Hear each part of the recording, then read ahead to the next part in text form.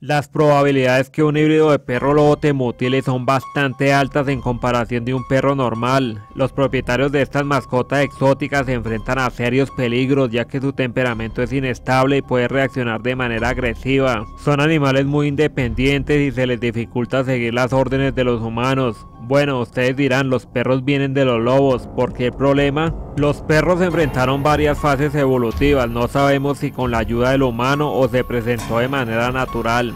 Diversos estudios genéticos han demostrado que las razas actuales presentan un porcentaje muy bajo o nulo de lobo. Claro, muchos criadores con la ayuda del gobierno fueron más allá y cruzaron a propósito lobos con perros, creando razas como el perro lobo checoslovaco, perro lobo de Saarlos, perro lobo Volkosovi, entre otros. Lograron estabilizarlas pero después de años de trabajo, aún así son animales tercos, tímidos y desconfiados que necesitan de adiestramiento extremo para que sean funcionales y obviamente no son para propietarios sin experiencia. En base a lo anterior, poseer un perro lobo es todo un reto, incluso poniendo en riesgo su propia vida. Pero les tengo buenas noticias. Alguien ya pensó en ustedes y creó el Alaska Noble Companion, que traducido al español es compañero noble de Alaska. Antes de continuar, es importante que se suscriban al canal. Alaska porque se creó en el norte del continente americano, noble por su apariencia y compañero porque se desempeña en cualquier actividad asignada. Esta mezcla fue creada por Andres House, una especialista en genética. El proyecto inició en 1991, utilizando como base tres razas, el pastor alemán que siempre está presente en todos los experimentos, el husky siberiano y el Alaskan Malamut. El objetivo, crear un super perro de trabajo con apariencia de lobo pero sin utilizar genes de lobo.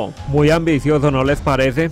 Tanto el husky como el malamute son razas antiguas que se forjaron por selección natural sin la intervención de la mano del hombre. Son trabajadores obstinados, muy tercos, se dice que son cercanos al lobo. El pastor alemán por su parte es una de las razas más completas del planeta. Es muy versátil, se desempeña en labores de pastoreo, guardia y protección. Compañero, lo más destacable es su fidelidad. Con estas razas el experimento empezó a tomar forma, pero su creadora quería pulir ciertos rasgos como inteligencia tamaño y estética, añadiendo otras razas como el labrador negro, que aportó color, inteligencia y nobleza. El Border Collie, todos sabemos que es el perro más inteligente de la tierra. Perro montaña de los Pirineos, aportó instinto de protección del rebaño y tamaño. El Greyhound o galgo inglés, velocidad y estética. Bueno, al parecer el proyecto dio resultados, físicamente parece un lobo negro, incluso se ha llegado a pensar que la genetista miente y que la mezcla sí lleva sangre de lobo. Un portal de internet afirma que se le hicieron pruebas de ADN dando como resultado contenido de lobo al 10%. ¿Qué opinan ustedes?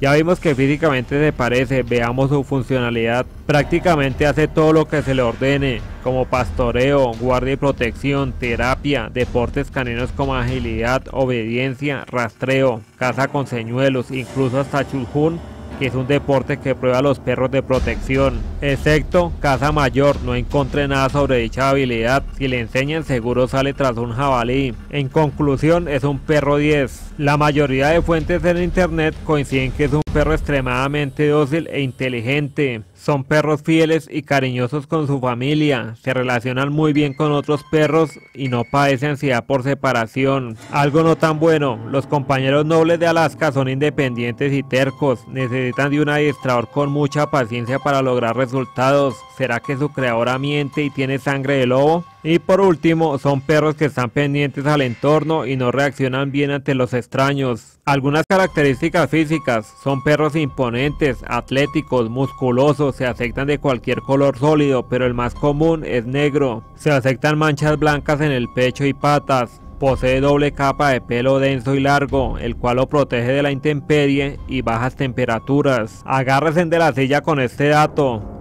Miden entre 66 a 84 centímetros y pesa 50 kilogramos, son verdaderos monstruos. Es importante aclarar que es una raza en proceso, no existe mucha información, además no está reconocida por ninguna federación canina, solo al final tendremos la información clara y precisa y sobre todo la verdad. Nos vemos en el próximo video, cambio y fuera.